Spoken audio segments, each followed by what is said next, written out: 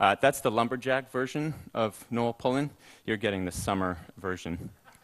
Hopefully, uh, next year or in the next few years, we'll have uh, the ambassador up here speaking on a virtual haptic holographic tablet and wearing a t shirt, of course, because it's a tech conference. All right.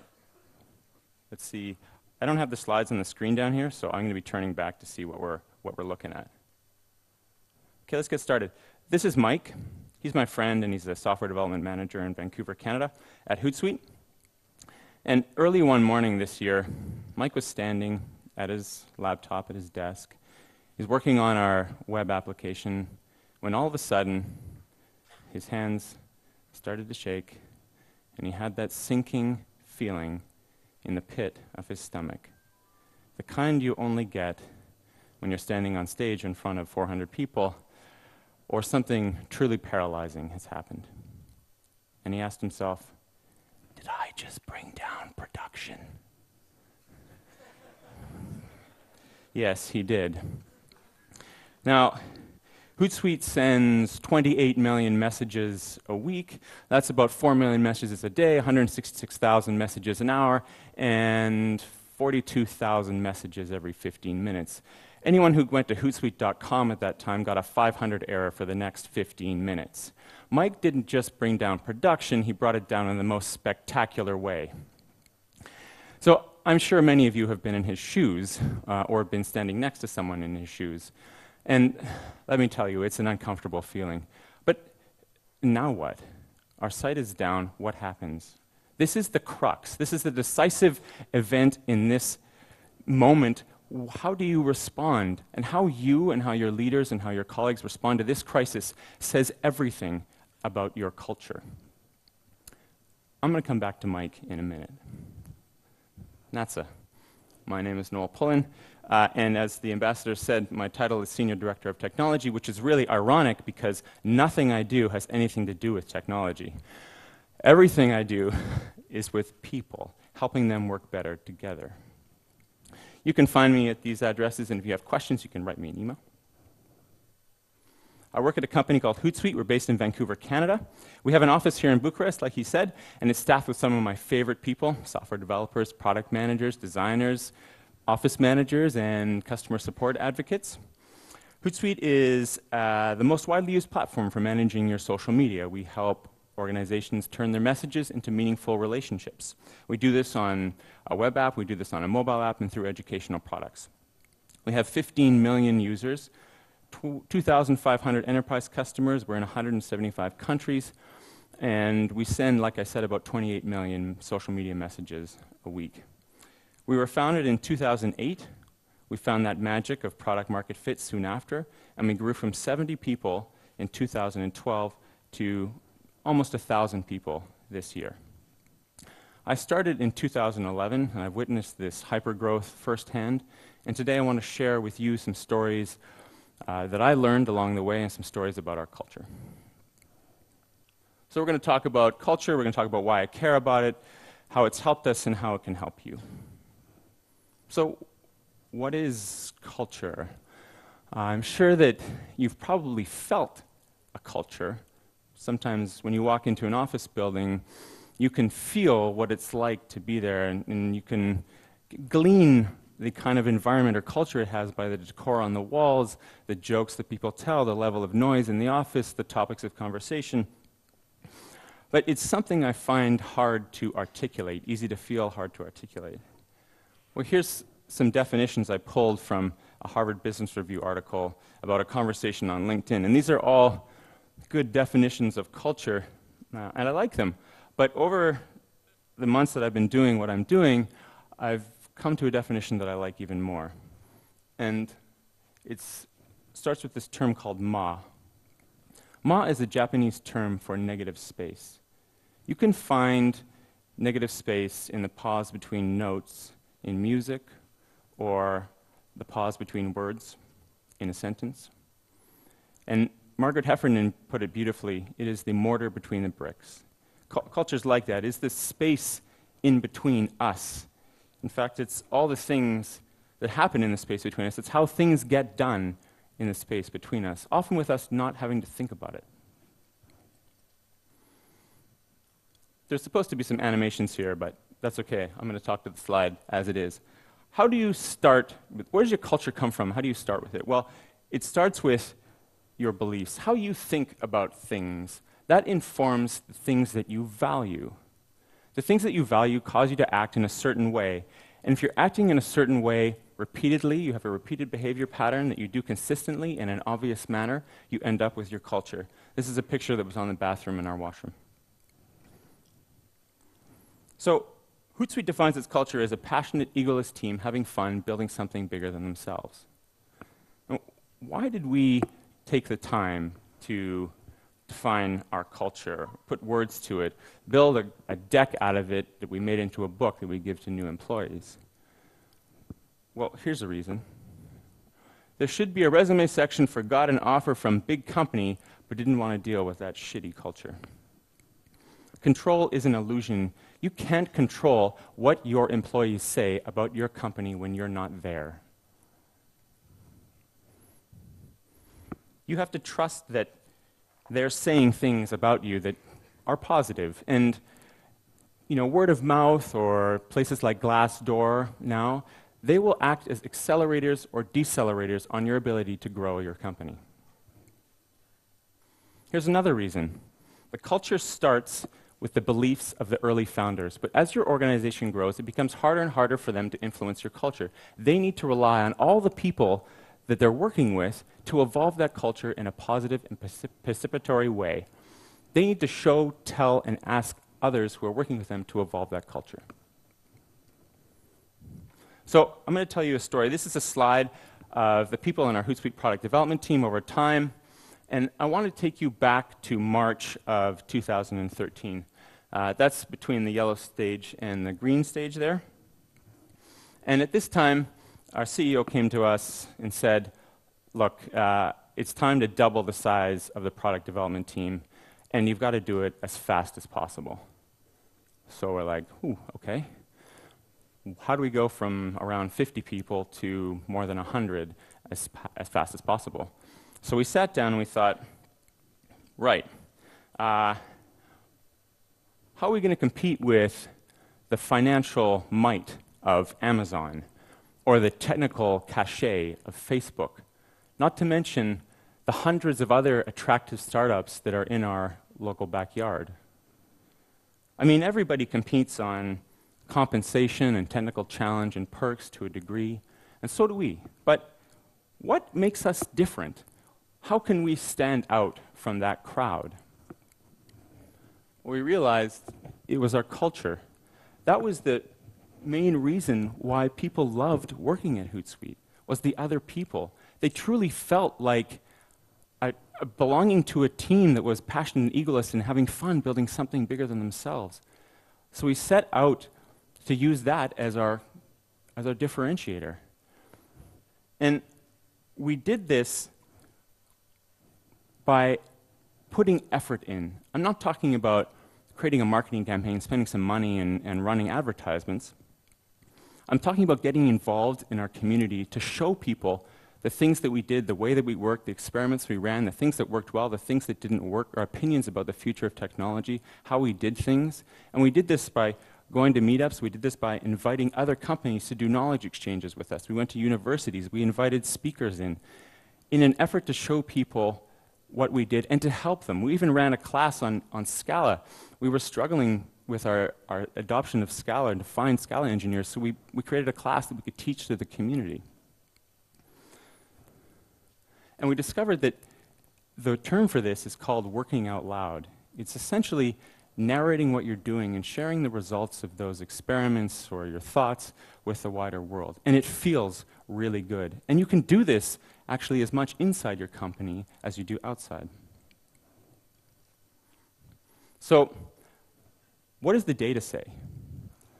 We went from hiring one person per month in the yellow phase to hiring one person per week over the course of the year in the, in the scale phase, in the green phase, where we were growing quite quickly. And that thick black line at the bottom of the picture, that's our voluntary turnover over the same time. It went up by less than 1%, from 0.4% to 1.2%. So, what does that all mean? It means we were able to attract and keep good people longer. We had found our cultural competitive advantage. So let's talk about you. Let's talk about how you turn your culture into a competitive advantage. So, first, there's one question you need to ask. My friend Marius told me this question, it's wonderful. We'll get to it in a sec.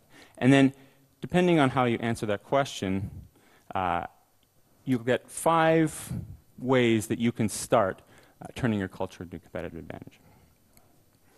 The question is Do you believe you can change a culture? Do you believe you can change your organization's culture? If the answer is no, well, okay, hopefully stick around, maybe I can change your mind. And if you believe it's yes, then great. Start evaluating the level of enthusiasm and capability for the people you work with to change the way they do things in the space between them, to change the way they work together.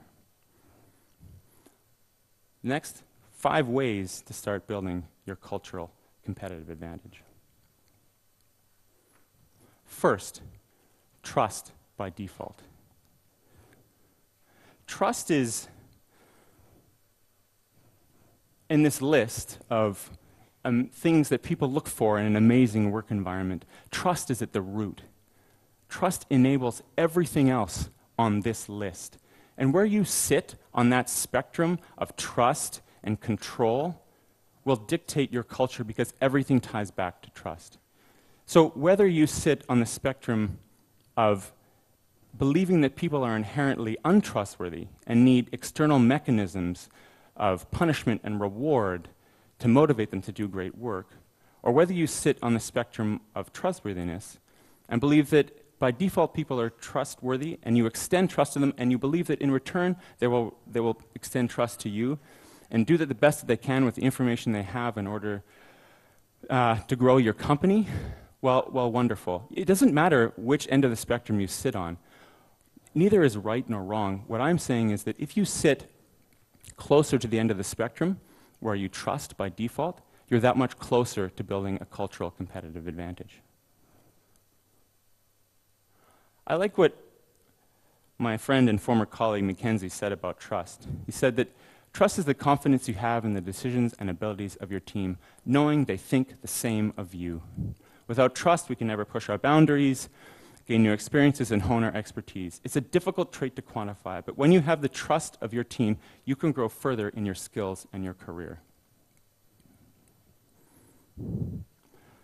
Trust your people to recruit, to hire, to push to production, to onboard, to provision servers, to talk to your customers, to change the direction of the product, to experiment with organizational design, to develop new strategies for your business.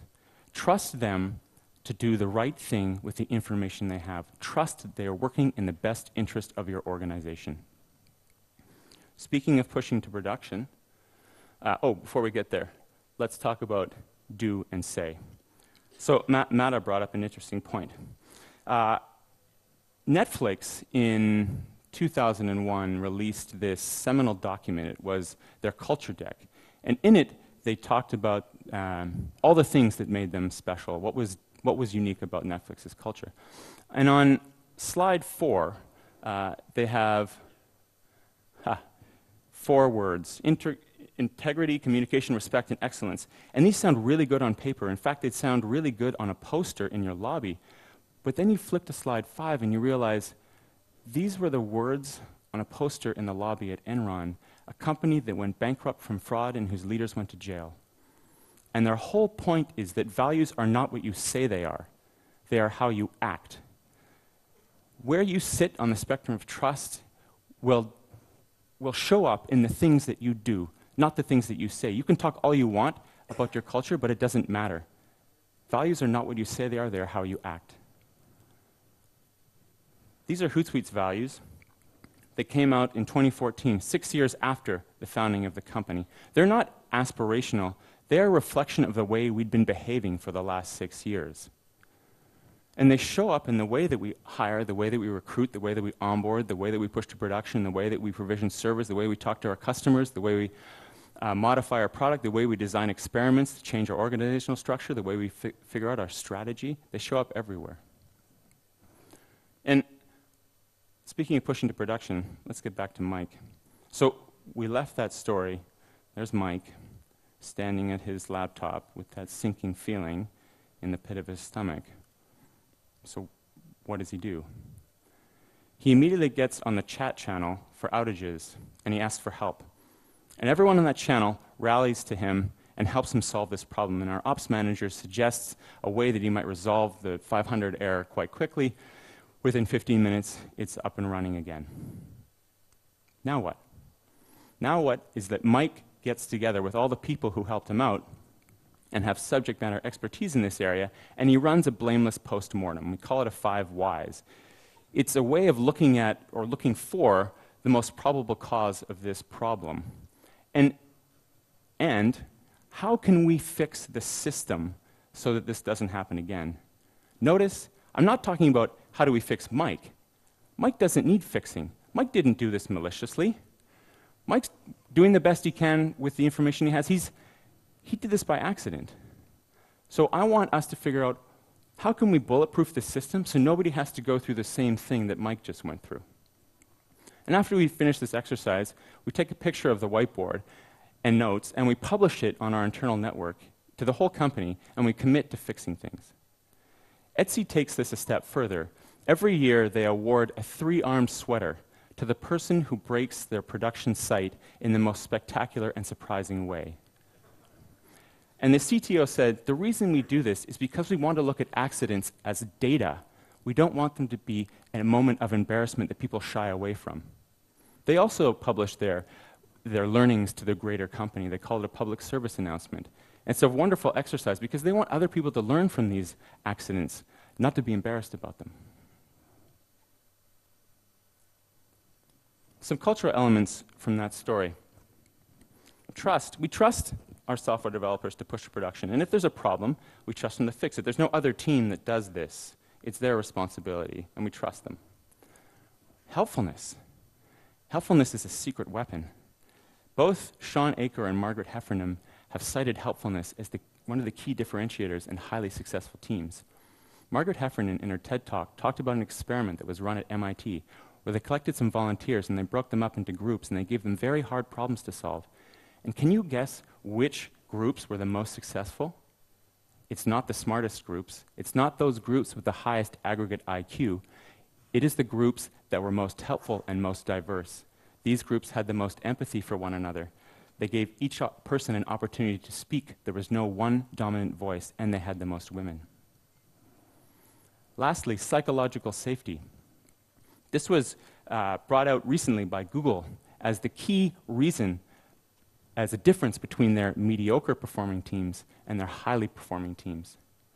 Psychological safety is this idea that you can raise your hand and say, I don't understand, or uh, I just brought down production, without feeling embarrassed or fear of punishment or ridicule or insecurity.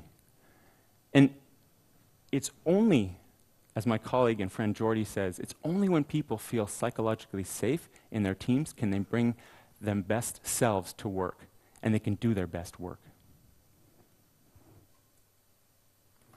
Next is working out loud. So you, you do these things, you run these experiments, you have these events. How do you, what do you do next? How do you show people your culture? Well, you, you have to work out loud, narrating your story and sharing it with others. And I can tell you that when you do this, you unexpectedly help other people and you get help unexpectedly. You can start, where do you, where do you get this material? You can start with tapping the power of your people. Look to the ideas and subject matter expertise of the people that you work with because their passion and depth of knowledge about what they do and what they love will surprise you and it will be the next source of your idea. I, I bet that you already do this. I bet many of you take part in hackathons. I bet many of you run unconferences or reading, reading groups or guilds. This is, this is a fantastic way to source new experiments. And then when you've got those ideas, let people play with them. Let them experiment. Do more than say. Try things. See what happens. Reflect on it. And then try again. And lastly, give away that expertise. You all have something unique about what you do. Share it with others. We at Hootsuite are so grateful for companies like Etsy, Spotify, Shopify, Intercom, Facebook, because they've open sourced a lot of tools that we use, and they've also told us about the way that they do things. Like, I would like us to reciprocate to our community. They've unexpectedly helped us. I would like us to unexpectedly help others. Because what's the first thing you do when you have a problem you need to solve? You likely type it into Google and look for an answer. Well, that's what we've done on a number of occasions, and we've come across articles that have helped shape the way that we do things. So I want us to reciprocate. And I would like you to reciprocate too. But you just don't have to give away your own expertise. We give away the expertise of others too. When we bring trainers in to teach us about how to write Go or how to write better Scala or how to, how to run experiments, I always ask them, can you give, can you give a meetup to the rest of, like, to the Vancouver community uh, and, and share the same expertise with others? And I've done this half a dozen times, and no one has said no. They've all said yes, and these meetups have all been successful. People over data. So I was listening to a podcast uh, on NPR, National Public Radio in the States, run by a fellow named Guy Raz, and he interviews startup founders and, and their experiences. And he was talking to both uh, Joe Gebbia, the founder of Airbnb and the founder of uh, Instagram. And at various points in those two, the history of those two startups, they had reached a plateau. In the case of Airbnb, they had reached a plateau of a few hundred users. They're in San Francisco, their customers are in New York, and they're looking at this dashboard every day and they're trying to figure out why they've, they've come across this plateau. And they take this question to one of their advisors at Y Combinator, and he says, Well, what the hell are you doing in San Francisco? Get on a plane and go to New York and talk to them. Figure out what they love about Airbnb. So that's what they did. And those early conversations focusing on the customer's experience or the people's experience with Airbnb is what later led to some their hypergrowth, changes in their product and the way they approach people. We take that to heart when we onboard new people. People and their experiences at the heart of this. So there are, there are two principles to the way that we onboard new people. The first is people want to connect with other people. I learned that from Oren Ellenbogen. People want to connect with other people, not to do lists, not manuals, not videos. So every new hire that comes in, we sit them down and we give them talks about every aspect of our company how we make money, our culture, and all the aspects they need about our practices and technological solutions. And we do this in person for a reason. I want every one of those people to develop a relationship with that speaker. So if they have any questions about the things that they've learned, they know who to go to. They know who to talk to about that problem. And it's also the way that we instill our culture in, all the, in every new hire that comes in. So on the Tuesday after a new hire starts, I give a talk on our culture and, and why it's important. And this may sound funny, but I don't care if anyone remembers anything from that talk. All I care about is that they listen to the stories I tell about the way that people at Hootsuite have acted, and I want them to leave with a feeling. I want them to leave that room feeling inspired to act in the same way. The second principle is that every software developer that starts pushes to production on day one. Now, we could invite people in and ask them to watch a video or read a document about the way that we, our deployment pipeline works, but that's really, that's only passive knowledge, and it would violate the first rule that people want to connect with other people. So we pair them up with a training guide and we have them push to production. And it's simply changing a humans.txt file, but it says so much more. It gives them an understanding of how we work. It shows them that the speed at which we operate multiple pushes to production a day. It tells them that they are responsible for pushing to production. And if things go wrong, they are responsible to fix it. And we trust them to do this. And one of the benefits is it feels really good to do this because at the end of the day, you can go home to your partner and you look, look up humans.txt online and show them your name there. Say, this is what I did today. And this, this practice of doing something culturally significant has moved on from the software development world in our company, and it's being adopted as a way to onboard the rest of the new people in other departments at Hootsuite. One more thing. Does anyone remember this game show? It's called uh, Iron Chef. It was a Japanese game show where all the contestants were chefs. And they were given a set of ingredients, all the same ingredients. And they had a limited amount of time. And what they were asked to do was to create a dish out of these ingredients in that limited amount of time. And what's, what was wonderful about it was that you had all these chefs uh, competing, and they would despite having the same ingredients, they would all cre- always create something different, something unique. Well, you're in the same boat. You're all trying to make a company, and you have a limited amount of time, and you have all the same cultural ingredients. But what you create from that will be a reflection of your uniqueness, of the special things about your culture. So the last lesson is don't copy. You can't duplicate somebody else's culture. Just be yourself. Because when you have something that no one can copy, then you have a competitive advantage. So if you find yourself here and you want to get there, or if you're there and you're falling to here, whatever the situation, you need to think beyond a six figure salary, a technical challenge, and a foosball table if you want to attract and keep people for much longer.